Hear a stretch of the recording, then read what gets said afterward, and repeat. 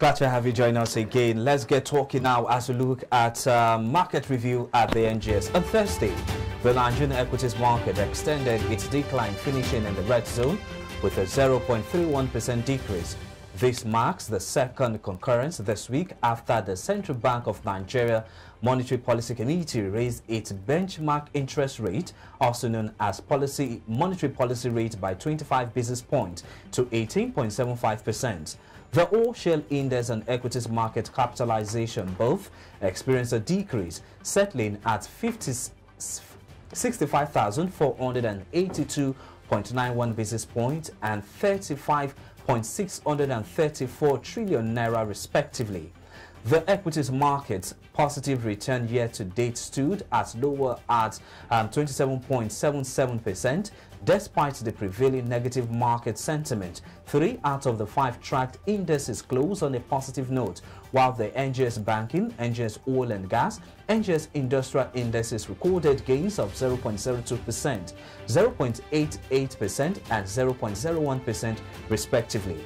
Meanwhile, the NGX Insurance and NGX Consumer Goods Index rose by 0.95% and 0.66% respectively.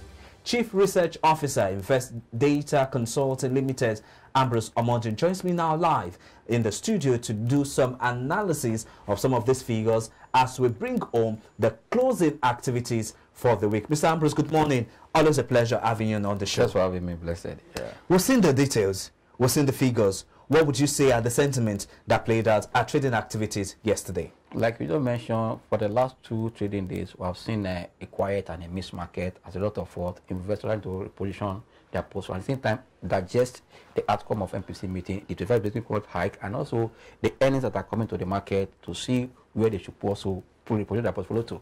The good thing is that, like I always say, even here, I know anywhere I'm talking that, you know, as investor or trader, you know, you need to understand the market yourself so that at any given time, you know where, to move your portfolio or not. But I have emphasized on this program that every investor in the market should look at the economic policy of, the new government mm. and also where is it you know, going to, to, to where actually is it going and also which sector or industry will benefit from these policies as an investor you don't wait until you start seeing the benefit you know every investment is against the future as you are seeing this policy statement either monetary policy or fiscal, uh, fiscal policy, policy yeah. they have impact on company performance because mm. we are not operating outside the environment that, that means for you you need to understand oh, if they hike interest rate, which industry will this affect? Which industry will it threaten? We know that one hike rate on, on, on Tuesday, we not know that we are seeing more plus for the banking sector and a minus for what for the general economy. Mm. Because when you hike rate, money you are tightening fund and cost of fund will be high. People that want to expand their business will slow down because cost of borrowing is high. But the banking sector, whether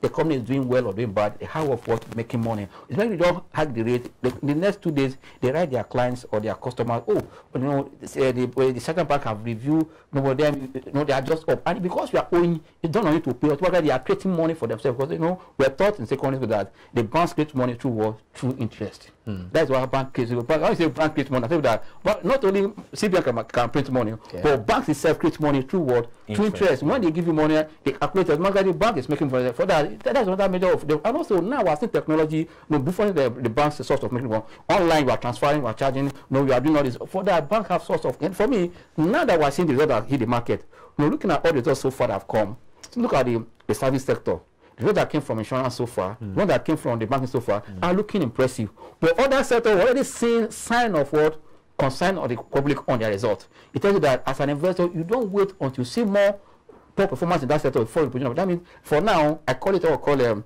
you know, value-oriented word sectoral rotation. You should be now where you move from one sector to that, where you see that these companies they've done backward integration, yeah. they are not importing goods that will pay high interest. Yeah. No exchange rate has gone up, you're not going to hit their importation. But companies that have done backward integration, know that yes, they're sourcing raw material, raw material in Nigeria. That means they have uh, you know, advantage over companies that, what, that are importing goods. That means their goods will either be cheaper or they make more profit. Mm. This I think that we're thinking now how then in the next you know, six months from here to December, we'll now see where the whole no reform we're seeing is taking us because I tell you reform will not change overnight. Mm. Then the people are thinking that we're suffering and things are hard. I say yes, but you, you can't just conclude at this short period. You have to give time for the next either the first quarter of 2022, uh, 2024 or 20 or the second quarter to see how this thing play out and see where we are going. But only that this period you have to start your bet and also you can't say also because the economy is becoming stiffer you know you want to run away from your investment, you need to have more source of income to survive because that's where you, see, stop looking at one way. That's why I say if you are working yes you are earning little because of things that happen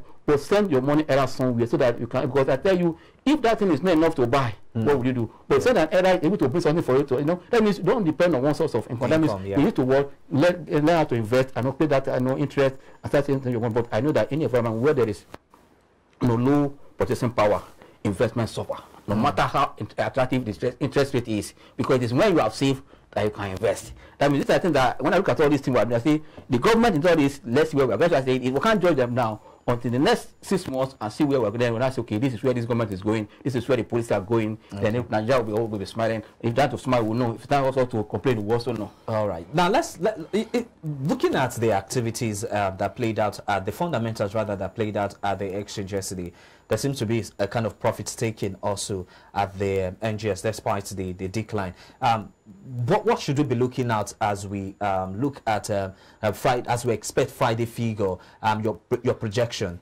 No, actually, when you say profit taking, in this part and part of the market, it's one of the market uh, dynamics that in any any uh, environment you are invested in US market, in Ghana, anywhere, there's profit taking you. When you enter a stock, because you are trading with a plan, when you hit your plan, you're about to take profit. And knowing that the market have hit almost, uh, you know, 60, uh, 66, uh, 60,000 uh, mark in this, yeah. and about that uh, amount to be correction. Not only correction, when market pull back again, it gather more momentum to break out that and continue. But in process of breaking down, pulling back, you not take profit. But once again, that when you're taking profit, look at the pullback. Is it a value pullback? Is it that a value pullback or just because as I speak now, as I yeah. yesterday, the uptrend strength or momentum is still there. That's why the market is taking profit now. We saw for two days now on um, on Wednesday and Thursday. Today, on the strength of number that is coming, I see that that sort of profit taking likely to continue. It might be on a reduced move because the more we are seeing a better number, people will be selling to go to another another store. That means volatility in the market will continue between now and next week. Why? Because as result is coming, the, the retail investor want to take quick action to react. Why the institutional investor and those are what we call the smart money, they don't react to result as people react to result. They okay. take time to do their analysis because they have committee of you know, of investment where they can approve what to buy. Looking at the prospect of that company that result or industry where it's operating, yeah. you need to sit down before that means as you are reacting to result now, make sure that you are doing the right thing because when the big boys that will bring the big fund, especially now that our market is open to international investors, not foreign investors, that, that means we need to understand the whole thing, where the policy is taking us, who set up benefit then, and start kind of pushing toward that uh, direction. All right, we'll leave other um, containing issues to analysts and gather. So many questions yeah. I want to ask, but we'll leave it to then when we have enough time no to talk about market no and its trading activity. No but for now, this is the much we can time will permit us to take on the capital market review. I'd like to say a big thank you to you, um, Chief Invest Chief Investment Officer of um, Invest Data, Chief Research Officer, beg your pardon, of Invest Data Consulting Limited, Ambrose Omojo. Thank you as always for your time. Thanks for having me. Blessing.